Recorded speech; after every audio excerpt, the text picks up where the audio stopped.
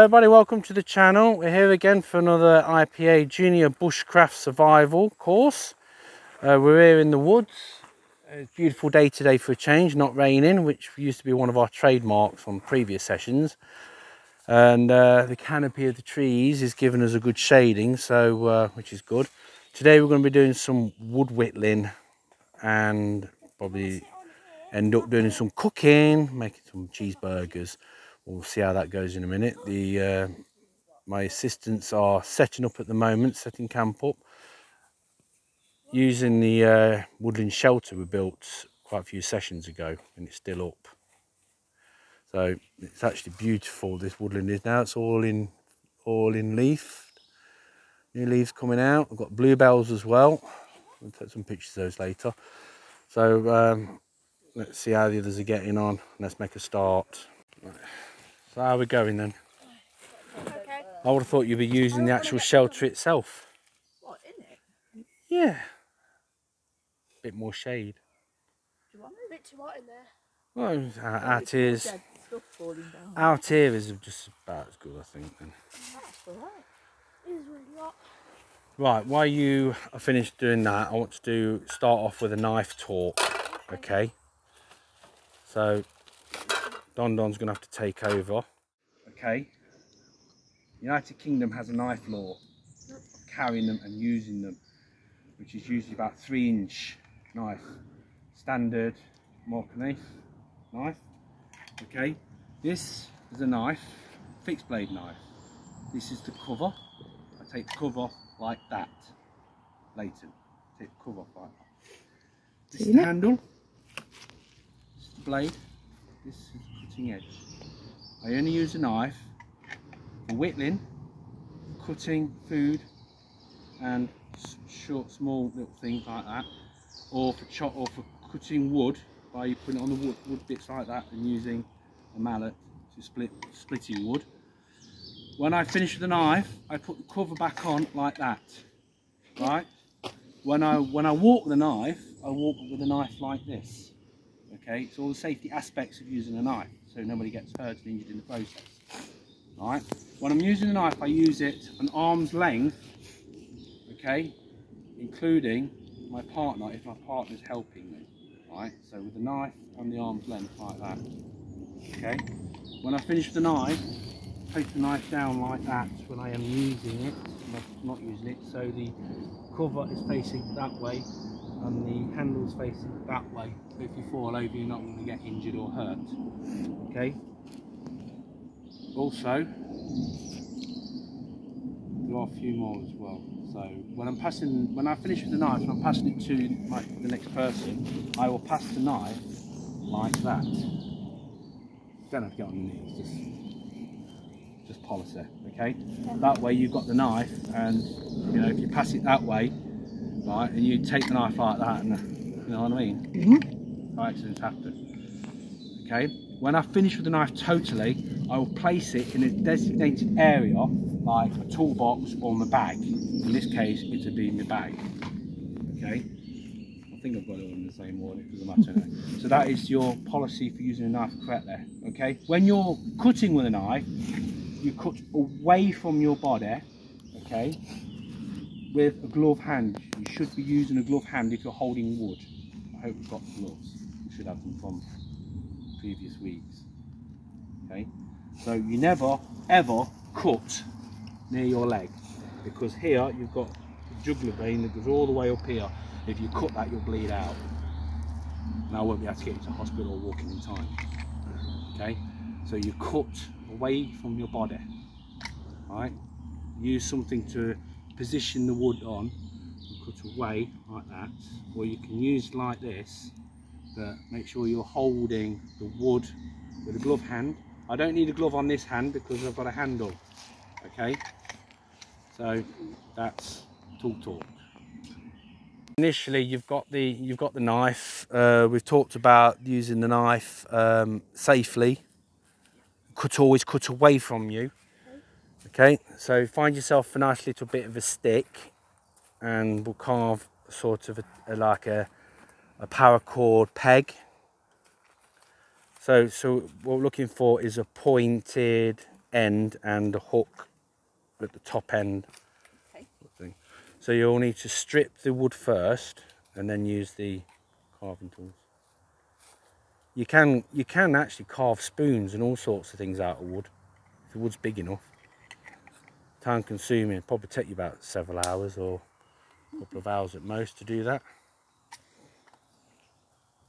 Are you been arm length, Um, length If you can't cut those big noggins out, find something that's a bit straighter. Yeah. Got that piece there.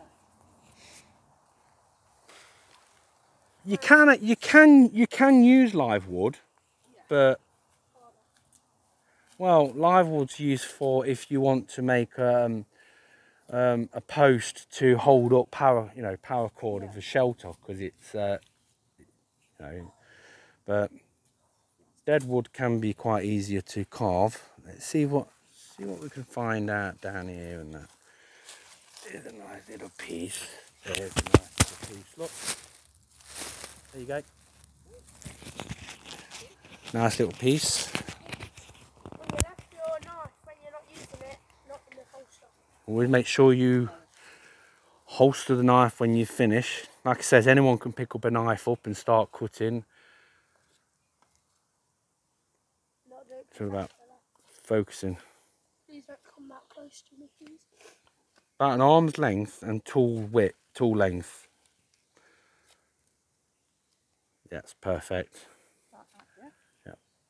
And it's nice to actually reuse the shelter that we used and created from previous sessions as well.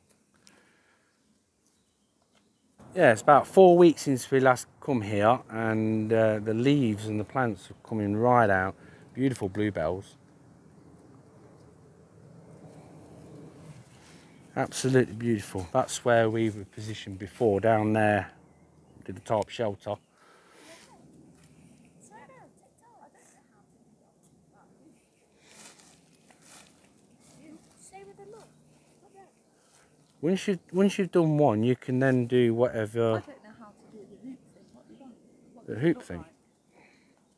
strip it strip it completely, All this. or yeah, and then I'm going to cut it in half, and then you can cut a point on it, can't you? I think so. Like sharpen a point on it, What, like a stake? yeah. Yeah. Sharpen the point on it, and then I'll show you how to carve out the the hook.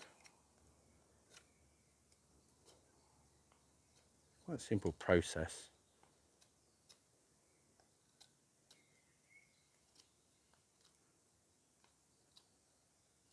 Just done. Yeah. as far as that's Yeah, Lane's got the gist of it, you know. He's quite good it. I've done a spoon before. Hmm.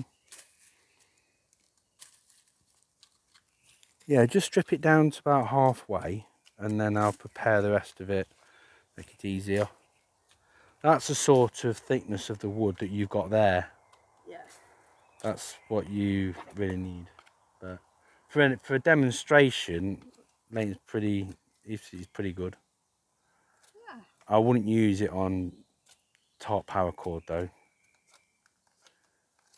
Bit brickle. Could be stronger than it looks like, to be fair. Well, it is.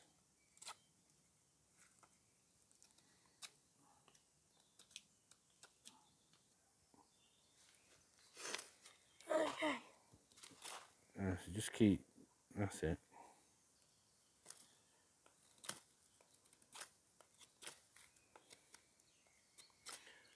The knife talk that I did at the beginning is usually used at forest schools when you've got a lot of young kids Yeah. in a circle so you can demonstrate and you've got all the entire attention of the whole group right this is why at the beginning of a fire school session what normally happens is you get them all sitting in a circle around the fire circle Yeah. okay? And then you get you've got their attention and that's when you do the tool talk. It's like when you use an axe there's a tool talk with that with a saw there's a tool talk with that. There's one with a lot of them. There's one even called a bill hook as well.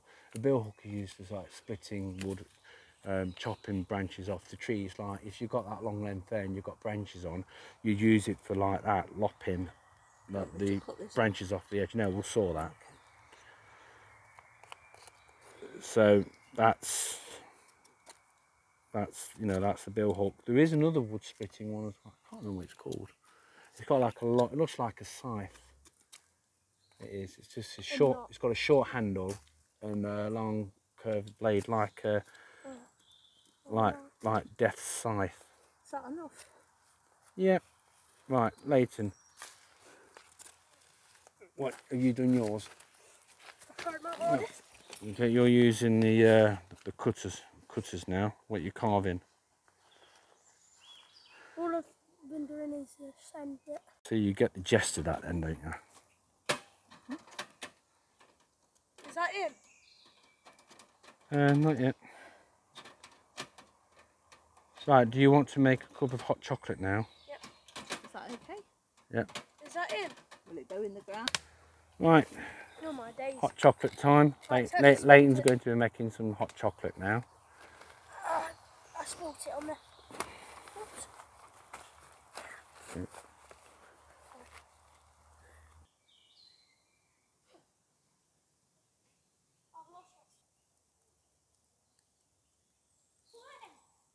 All you have to do is take a fit- pho- photo of yourself and then you do it.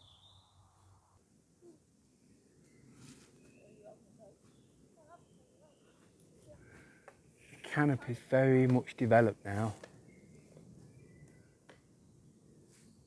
Look at that. Isn't it beautiful? Got sun shining, peeking through, look. Now we've got all the young branches growing out of out of this tree here. That bit. All the bluebells. If you look closer, we've got ferns growing as well. Look, got ferns and bracken. It's lovely, isn't it? All the bluebells. Beautiful. there. Beautiful. And we're on a sort of uh, a in area here because it goes down, down sort of an incline sort of thing. You must have felt it when you was walking up, up that slope there.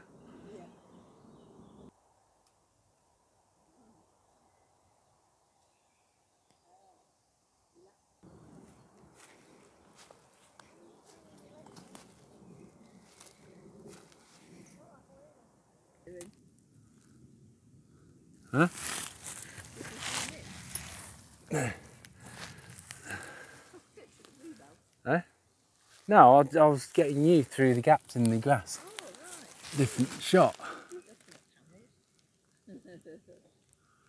No, I can't. You can't focus on you when they've got the grass as well because the grass is in the foreground and you're in the background. That- That's an odd one, isn't it? Baking on a curve. So yeah, it's all basically it's all about um, using a knife safely uh, in the, in this environment. Um, you can cook yourself anywhere, um, anytime, any place. So if you use it correctly, you achieve the goals that you set out to do. Um, tool talks are mainly used um, at Forest School, but I'm using them here because we've got a junior present and uh, it it will do him good to to learn that way and have the respect for the tools that he's using. We're going to do a bit of knife sharpening as well. Um, it's all very well um, using a knife to um, to do the job, but it's looking after your tools after as well. So we're going to do a bit of um, knife care as well, um, and then we'll get on to uh, see how this hot chocolate's going presume, presumably it's doing pretty well. And also we're going to try and do um, a bit of uh, woodland cooking. So that'll be in the next uh, the next activity. So make sure you tune into that. I'm not going to conclude it with this one. This is just about wood whittling. So if you want uh, if you want to see that one, um, tune into the next one. Uh, next week as well, we'll be probably be doing some fire lighting and open fire cooking. So that'll be interesting. So let's go and see how the others are going and getting on. Got some lovely silver birch here. Um, Yeah, brilliant. I think we're going to be using this for fire lighting.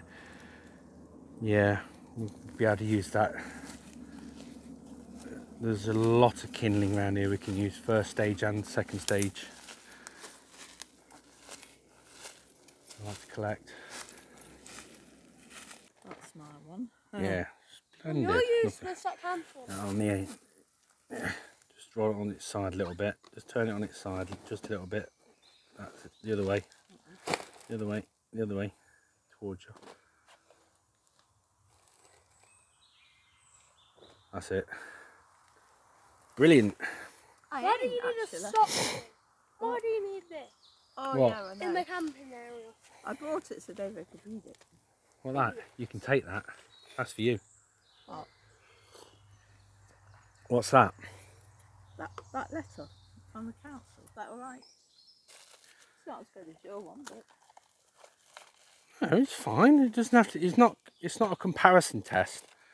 Hmm.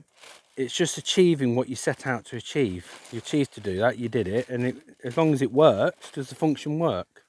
Will it work? It goes in. Look, And it works. well done. Put a piece of string there. That's it. That's it then. Brilliant. Okay, then that brings us to the end of wood whittling. Hope you enjoyed that, as these enjoyed it. So just a basic one. Paracord pegs. Hopefully they'll do the job. They should do. Although we're not going to use them today. Hot chocolate. Good, good call that was. That- That's nice. So don't forget to like, share and subscribe and check out our next video, Woodland Cooking in Burgers. So don't forget to like, share and subscribe. It's totally free. Anything from our, any last closing words? No, just yeah. Have a good one. Any comments on that activity? I actually quite enjoyed it. Yeah. Yeah. Excellent. Until Expect this to be that good. yeah. Until next time. Take care now.